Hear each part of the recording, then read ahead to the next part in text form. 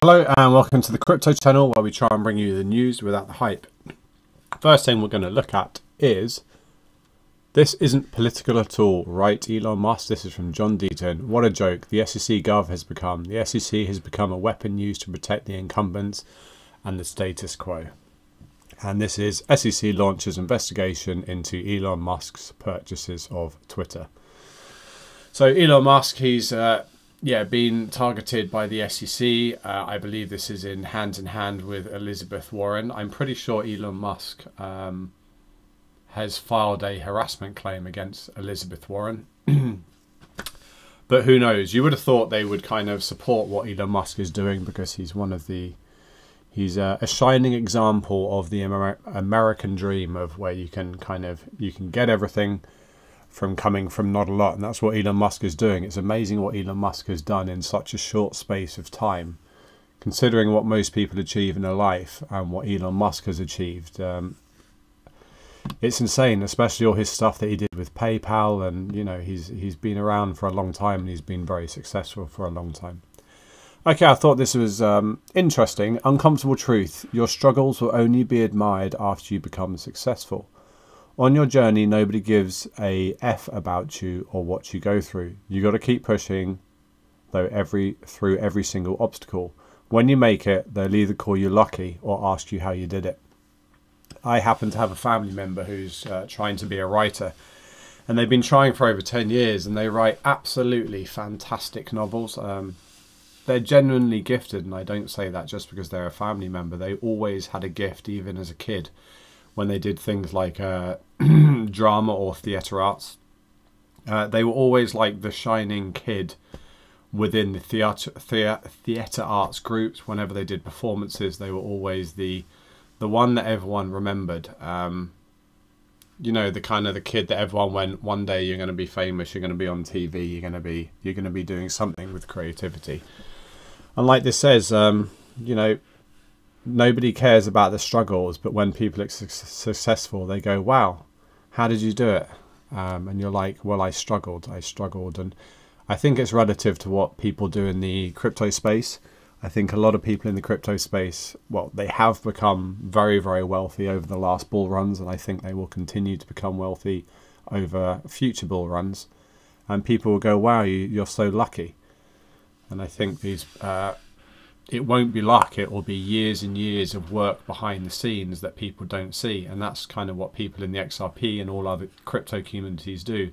There's so much work and research done behind the scenes to get a really accurate pulse of kind of the crypto market so that you you're so in sync with them. And there was a fantastic uh it was i oh what's his name? It was He's a billionaire. He's very, very famous. Warren Buffett. And Warren Buffett was talking about become an expert in two things. So a lot of people go, well, if in order to be a successful investor, you need to diversify. And Elon Musk says you diversify once you've made the money. But to begin with, you become an expert in two things, one or two things. And so I believe his companies that he liked was Coca Cola, I forget the other one. And as he said, if you become an expert in those two things or one thing, you will know more about that one thing than any, anybody else. So even if you're talking to a billionaire investor and you're an expert in whatever, whatever thing you're interested in, you'll know more about that thing than that than that billionaire investor because you have become an expert. And the the gift of becoming an expert in that field is you will know when it's oversold or when it's undersold, and that's where the large amounts of money can be made. And so I think the message often gets diluted where people go, oh, well, sorry, I've got all things making noises around me where so many things people go, oh, well, you need to diversify in order to make money. Well, actually, the initial kind of comments from people like Warren Buffett were you need to become an expert in one or two things if you want to be an investor, that is.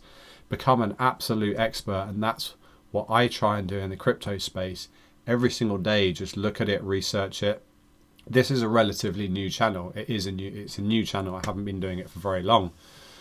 And I had listened to influencers over the years and I've been doing my own research since 2017 and I just thought I've been doing this for so long. I enjoy doing this for so long. And my family is so sick of hearing about cryptocurrencies, XRP, Bitcoin, you name it. Uh, I decided to do this channel because I enjoy talking about it. I think it's a I think it's a fascinating space, and I think it's amazing that kind of financial markets are able to, especially cryptocurrency financial markets and XRP in particular, has such a huge army behind it because people have such a such an interest in this space and finance is generally boring it's typically a really dull subject i mean i wouldn't want to sit on a tax lecture even though i know i probably should learn more about tax because i find it boring. Cryptocurrencies xrp xrp community what ripple is doing i find it fascinating i find it interesting. I find that we are getting to watch the reshaping of the world right before our very eyes and most people don't know what's hitting them.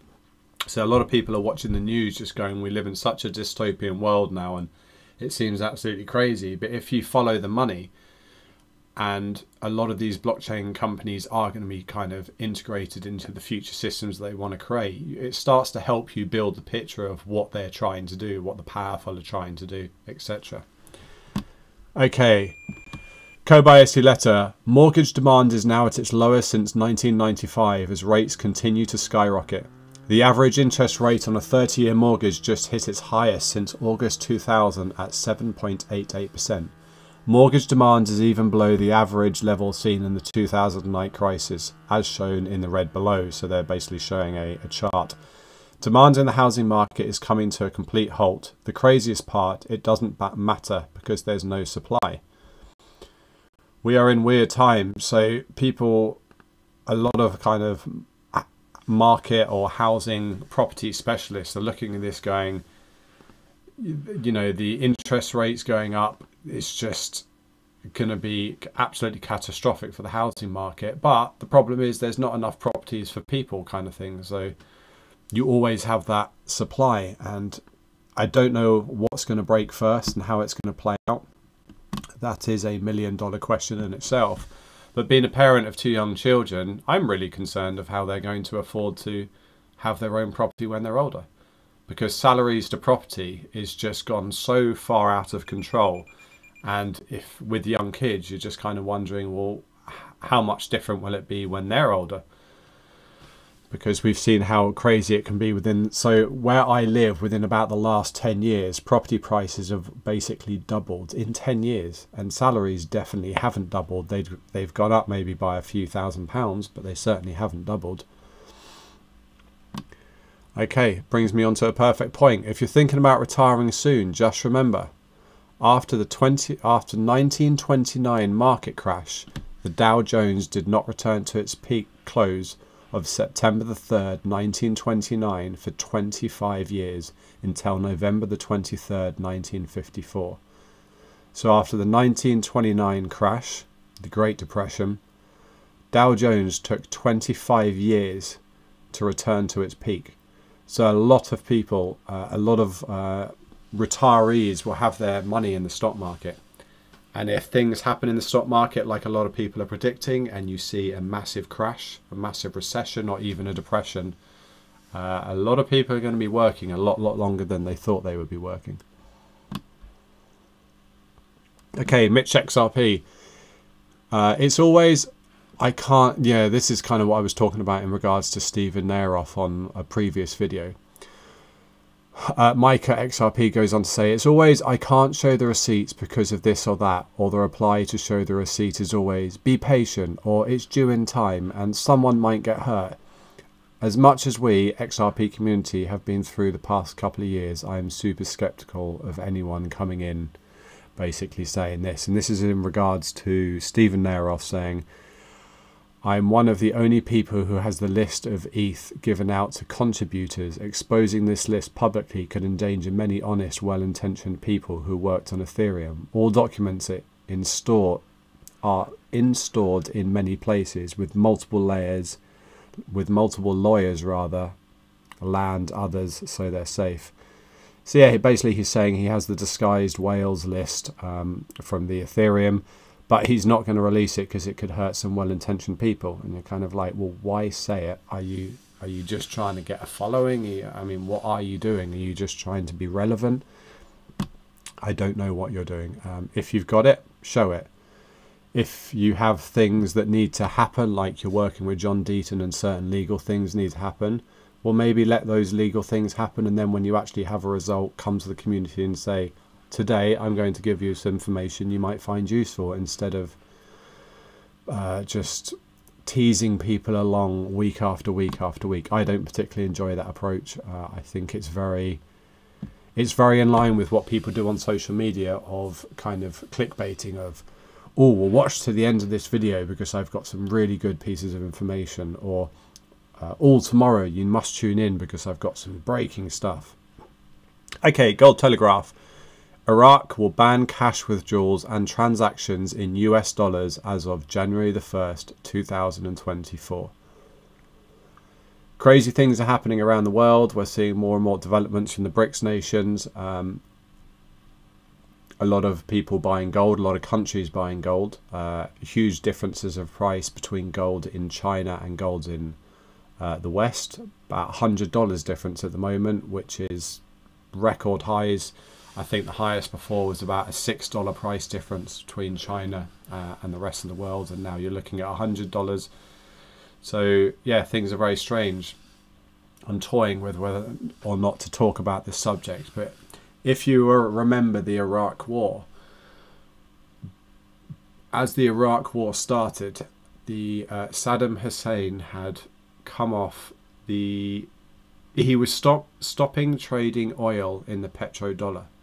Then the Iraq War kicked off, and conveniently, all of a sudden, Iraq was back on the petrodollar.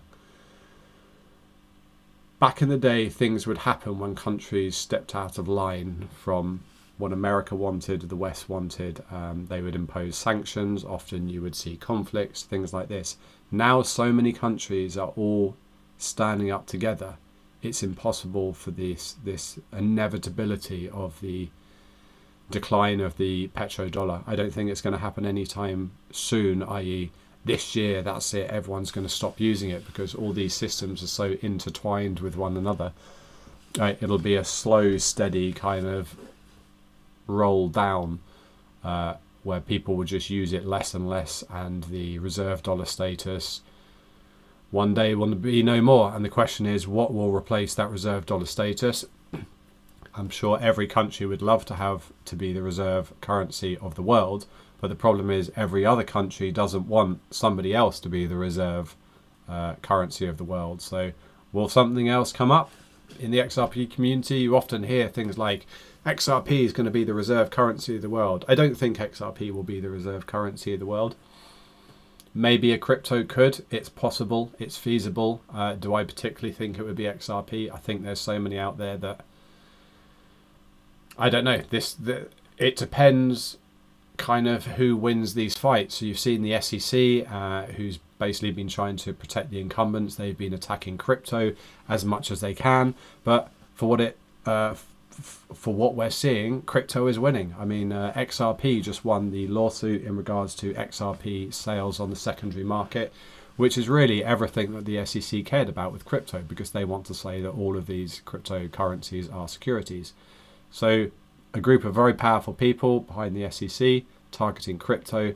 They don't like this kind of decentralized technology that's forming because it is. It is a threat to the, every single currency around the world which is why they're trying to come up with their own system, which is the CBDCs.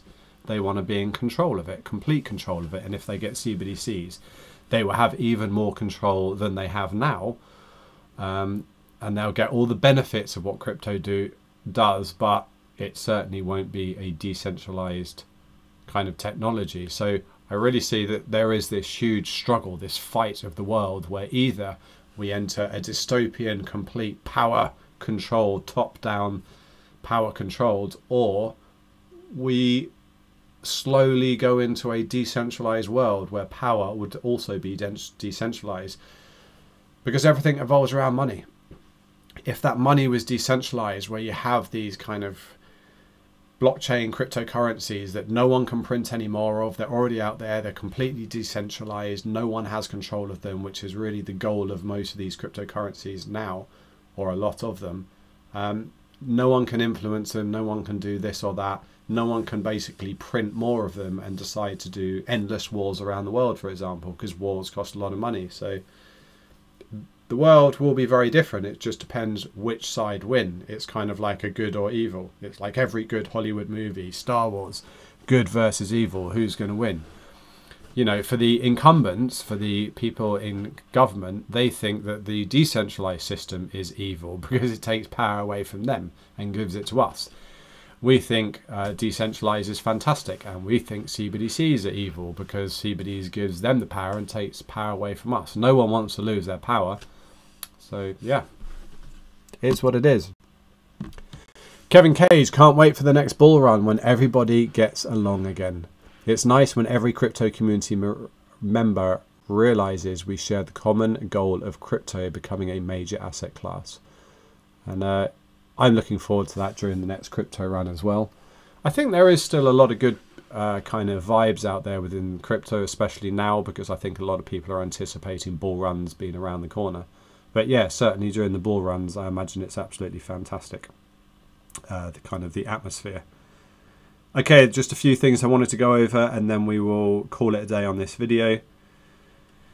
So, kind of the news over the last day is 24 central banks to have CBDCs by 2030. Um, so more and more, yet central banks are looking at the CBDC plan. Okay, BIS wraps up cross-border CBDC trial. And I often think when they talk about they've just wrapped up a cross-border CBDC trial, for example, that it means they probably wrapped up quite a long time ago and they're happy to give this information out to the public now. But the reason why I'm so focused on the Bank of International Settlements is because so many resources that I research talk about Bank of International Settlements argue, arguably being the highest uh, power, most powerful structure on planet Earth in terms of the money. And the money is all about, the power is all about the money, the money is all about the power. So you've got things like the Kissinger model where you have government, and then you've got the World Economic Forum and the Club of Rome. Above them is the central banks, and at the very top of the pile is the Bank of International Settlements. So when the Bank of International Settlements speaks, I listen. And so, yeah, BIS wraps up cross border CBDC trial. We know that Ripple has partnered with BIS, uh, they're part of their task force. Who knows what the future will hold, but I'm I'm hopeful. That's good. I mean, it's, it's great news. Not the CBDC part. I personally hate the fact that the world is going down the CBDC route, but for investors, if you're in Ripple, unfortunately, well, fortunately for investors, but unfortunately that it's tied to CBDCs, uh, you may do very well. Okay, Metro Bank shares plunge on fundraising reports. So I was looking into this article, and I think Metro Bank is around about 600 million in the hole, so they're looking to get 600 million. Where they're going to get 600 million from, I don't know, but it goes to show uh, just how many banks are in trouble. I put out a tweet from Robert Kiyosaki where he said, I think it's 750 banks are on kind of a certain watch list of not being particularly healthy. And if you think 750 banks, how many people would that affect if 750 banks, for example, all went down together? I mean, it would be catastrophic. And you've got, we're just seeing this all the time. We are at that time of recession, possibly depression, where you're going to start seeing more and more banks. I wish it wasn't the case. Um, I never want society or humanity as a whole to hurt, but I'm just here reading you the news. Bond markets gyrations are yanking us into uncharted territory. Again, just there's just the news is just constantly talking about uh, unstable markets, really. Uh, crypto friendly Congressman McHenry temporarily takes over the US House. I know nothing about McHenry, uh, Congressman McHenry, so I can only take the article's word that he is pro crypto. And if he is, uh, that's fantastic. Crypto firm Ripple secures uh, Singapore payments license. So this is new news. They they were they had been given a uh, a promise of a license before, but they hadn't been actually given the license. So now it has been confirmed that they actually have been given their payments license in Singapore.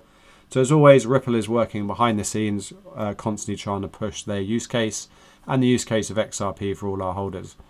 Okay, once again, BIS. Bank of International Settlements, EU central banks building data platform to track crypto DeFi flows.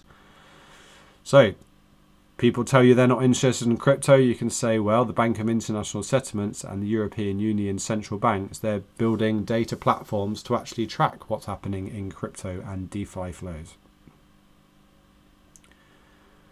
And the last one, no, there's a couple more. FTX customers are still grappling with crypto platforms collapse.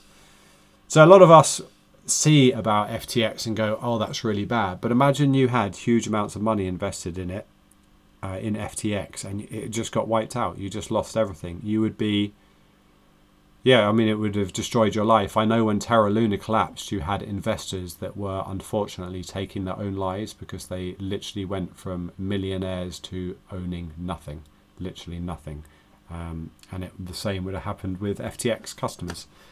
So I can only imagine how some of those people are feeling and the emotions that they feel when they see uh, see a picture of Sam Bankman-Fried.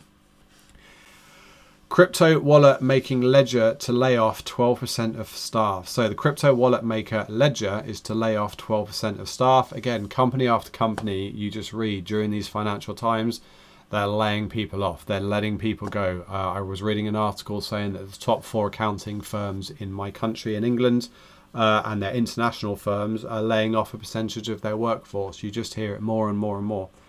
Uh, so it just kind of reinforces the the evidence behind the economy is not great. Uh, another article that talks about Sam Bankman Fried, the crypto king's wealth was built on lies, prosecutors say. And uh, yeah, that is it. That is everything that we have for today. So, again, on this channel, I try and bring you articles and news that I think is relevant to crypto uh, or just interesting or just the financial world as a whole. I try and follow and listen to a lot of podcasts from a lot of influencers to kind of pull this knowledge together for for this show, and just generally have a bit of a chit chat on this show. I don't want to tell you what to think. I just want to literally give you the facts and have this as a kind of food for thought exercises exercise where you go away uh, and kind of have a digest the information and make your own world views of how you think this space and how you think this market is going. Uh, so that is everything. Thank you very much for watching. This is not financial advice. This is just for fun. If you're new to the channel, then please subscribe. And if you want to support this channel, then please hit the like button. Thank you very much.